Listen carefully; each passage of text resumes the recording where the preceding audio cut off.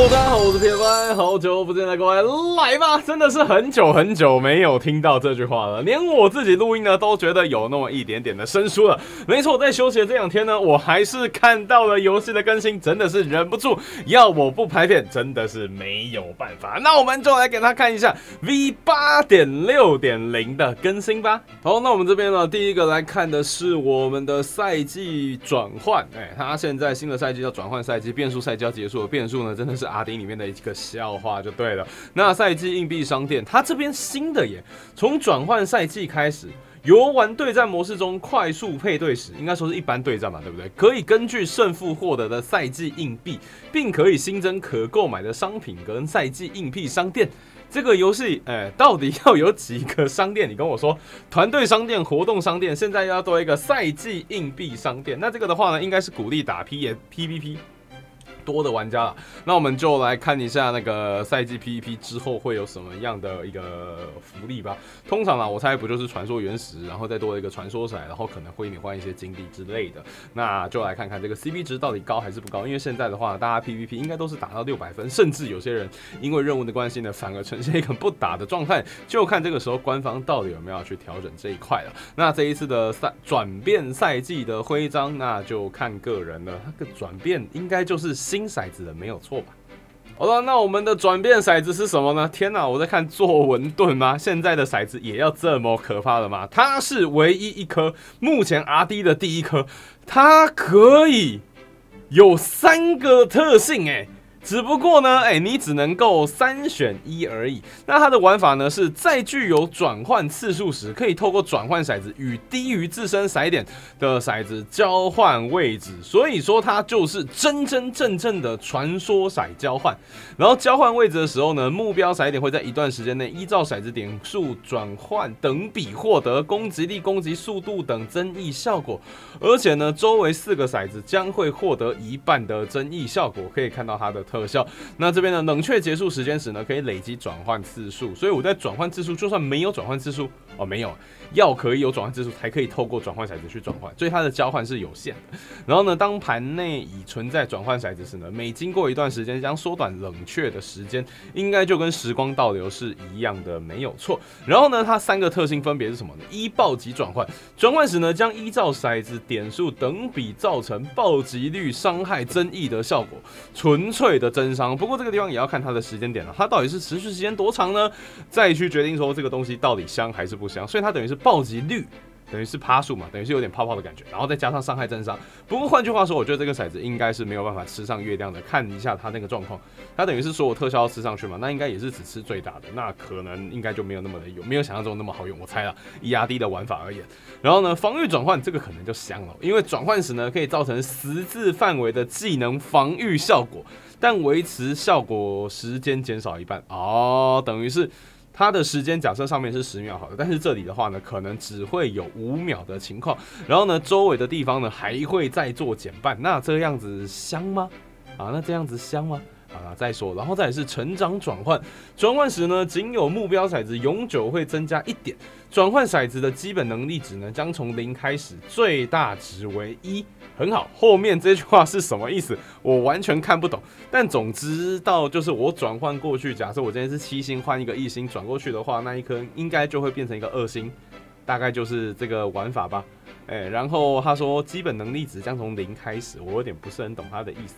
还是说不管怎样，反正我只要转换就会升星。哎，那这个玩法好用吗？我觉得再怎么样，应该都会比那个我已经忘记它叫什么名字，变数好用很多啦。我要猜，我猜，我猜。但是你说它真的能取代这个世界吗？我觉得 PVP 应该也只是多一个玩具啊。然后 PVE 的话呢，这颗骰子我猜就那个防御转换，看看能做些什么吧。不然，应该说这个持续时间点，假设我今天最多三次，它的持续时间有没有办法长做？如果办法长做的话，那个防御转换或许还有用。但是如果没有办法长做，防御转换也没有用。那如果都用防御转换的，那我干嘛不直接用上泡泡跟障碍就好了呢？那你说暴击转换的话呢？那我这个东西它就是可以去吃到那个月亮的暴击率。那我干脆还是用月亮就好了，我也没有必要用到这个，除非它的系数很高。哎，那在成长转换的话，那应该正常 PVE 的话是不会用它。那 PVP 或许有那么点机会，应该是对抗暗杀在用的。好了，那接着呢，就是我们的转换宝石，哎，转换骰子的宝强化钻石宝箱了。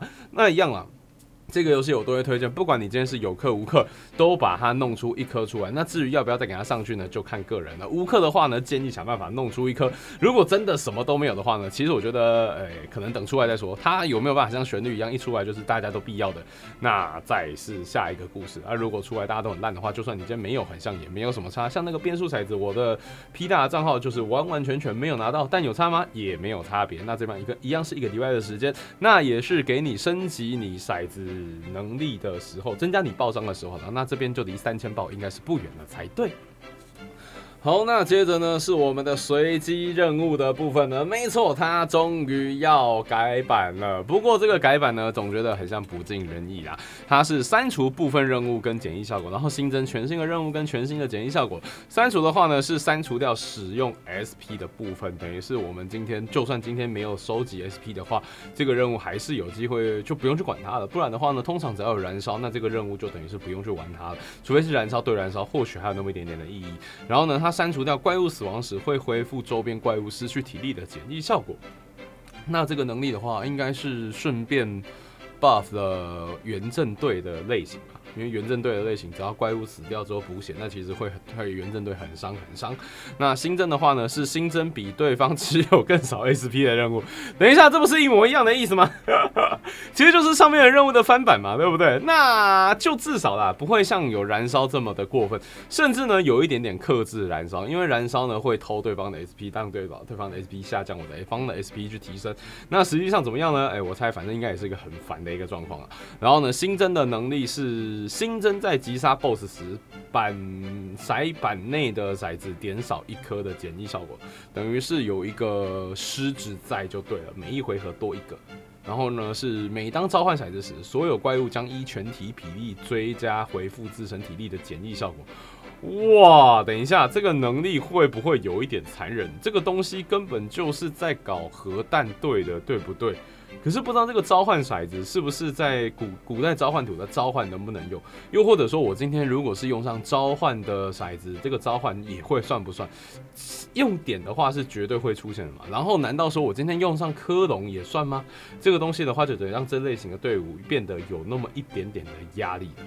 好，那接着是我个人蛮期待的大量骰子的一个调整啊。那这一次调整呢，总共有阴阳充电、魔剑、沉默、小丑、适应跟暗杀。只不过这一次调整呢，都是基础能力的调升而已。而我们的阴阳骰子呢，再度的变强了，基本攻击力呢从二十来到了三十，增加了百分之五十。而且我们直列跟横列的伤害呢，也都有给它增加，速度也有给它叠上去。基本攻击力从原本的四十到五十，就伤害是无上限的嘛。那速度的话呢，从二十变到三十趴，不知道这个攻速有没有给它顶到像满速一样那么的夸张？不然的话呢，那个阴阳的攻速确实是有那么一点点吃亏。那这个地方就很明显可以让我在随之 PVE 的部分好像再也是充电骰子的部分，它的攻击力呢从一点五来到了一点三，这个情况是活生生加了百分之十的伤害耶，对吧？这个状况很像有一点扯。然后每次阶级提升的充电速度从四十趴来到了五十趴，就代表说呃。这一颗。有办法取代收魂吗？我觉得应该还是不行。收魂的那个伤害实在太多，但是会更明显的就是初期的话呢，用充电就好了，因为它基础伤害变高了，而且我充电速度呢也变得更快。那我今天用上收魂的话呢，前期可能是跟不上充电的这个速度。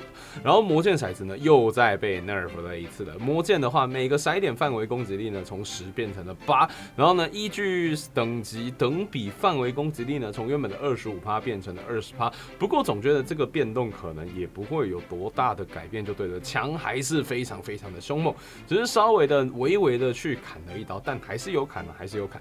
好，那接着呢是沉默骰子，天呐，官方终于意识到沉默骰子其实有一点夸张了吗？哎，沉默骰子的基础攻击力呢，从原本的一百阶级二十哦，阶级提升二十，然后变成五十，阶级提升十，它的基础伤害呢变低了很多，然后攻击速度呢也变慢了很多。但是呢，我猜这个沉默应该是没有任何差别的才对。那小丑骰子的话呢，基础攻击力。给它往上提升了一倍，但是呢，攻击速度呢下降了百分之五十。那这样整体而言，秒伤虽然是提升，但是攻速变慢的话呢，我觉得不见得是一个好事。因为如果基本上初期在用这些骰子在打的时候，假设我小丑是用暗杀队嘛，对不对？那这个时候呢，我的攻击力虽然变高，但是攻击速度变慢的。你说我打一只骰，一只怪物要花的时间变多，我打死一只怪物之后，中途飞出去的子弹它不会去转向打第二颗，要重新累积一个攻击速度才可以打到第二颗。所以你这算好吗？嗯，我觉得可能不见得。那适应骰子的话呢，也是同理，只不过它攻击力呢是提升了百分之五十，从原本的二十变成了三十，但是攻击速度呢也一样下降了，从原本的一秒钟打一下变成一点五秒才打一下。那这个话等于是加一点加一点五倍，然后放慢速度也放慢一点五倍，整体而言应该是一样的。但是如果真的要讲的话呢，那我宁愿攻击力是一，然后攻击速度给它叠上去，因为毕竟有这个刷新的机制在这个游戏里面。暗杀骰子呢也是一样，不过它攻击力呢是给它给它给它来到了两倍，不过那是基本攻击力的，所以后面游戏升级。跟游戏外升级是不是还是差一点点？所以整体而言还是一个非常大的 nerf 才对。但是会影响这类的队伍吗？我觉得可能不太会。毕竟我今天玩纯暗杀队的话，小丑适应暗杀就是在前一回合顶多跟到两回合而已。现在可能就是两回合一定会爆掉，原本可能两回合还有机会盯到第三回合之类的。好了，这以上就是这一次的更新啊。我觉得除了阴阳比较有看头以外，比较有办法可以水一支影片以外的魔镜跟沉默这个部分很像比较难一点点。充电的话呢，哎，我再看看这要怎么去拍吧，因为毕竟比较难拍得出来。好，接着呢是这一次游戏的第二颗骰子，没错，一个更新里面竟然出了两颗传说骰，而且上一次变数竟然没有出特性，就直接再出了一个传说骰。我觉得这个游戏的传说骰，老实说，我觉得有点出太多了，真的是太多太多了，不如呢多出一些旧的特性，可能给它调整一下。反正现在都有三特性的东西出来了嘛，对不对？可能会比较香。那这一次的活动呢是临近团 VS 对抗军团，跟当初的时光倒流团还有旋律是一样的。概念，反正呢就是先来一颗，然后来测试一下那个状况，之后会再做不一样的调整。当初的时光倒流呢是没有次数限制的，旋律的话很像没有做任何的调整。那这一次临近骰子的话呢是召唤后经过一段时间。与可具有相同骰点的所有骰子种类结合，换句话说，它今天就是一个适应骰了，对不对？然后呢，它是可以合成时呢，会多发动一次合成的效果。最明显的呢，就是暗杀了。那如果今天用上了暗杀，用上了宁静图，再用上光宁静的话，会是丢三次还是丢四次呢？如果你有想法的话呢，可以在下面留言留言一下。那这个想法，假设我今天是要玩上暗杀队伍的话，那我就用上光宁静图、宁静图、小丑，然后。暗杀再配个适应，然后再拿个祭品，这样的话悬赏就不能丢了。还是说适应就拿掉了，把它用上了临近骰子会更香一些些呢？哇塞！而且临近骰子可以跟适应还可以合成的，那这样的话，呃，跟那个祭品跟悬赏都还可以合成的。那我觉得应该还是那个。适应可能会被换掉，因为毕竟悬赏跟祭品，我觉得是必备的。原来我们的暗杀这个游戏还没有走到头就对了，但是呢，这也是在活动内里面才有的。活动外的话呢，可能就要等正式出来之后，看它会不会做一些调整了。那这个东西我觉得应该在 PVP 会有搞到。PVE 的话，现在的倒转杀我觉得应该是挺成熟的，还需要用到这个地步吗？哎，可能好像不太需要。对吧？倒转杀，然后配上小丑，配上旋律小丑，这样子我觉得已经是非常非常完美的一个组合。有这个的话呢，可能就是多一个方向选择。但是有没有办法超越倒转杀？我觉得可能就等胜出来之后呢再说再说了。好了，那今天影片就给大家到这里。如果你有什么想法的话，可以在下面留言一下。我是别 y 我们就下次面再见了。三二一，拜拜。